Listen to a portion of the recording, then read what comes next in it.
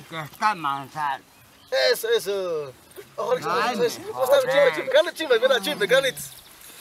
Carlos. Carlos. Ya, ya?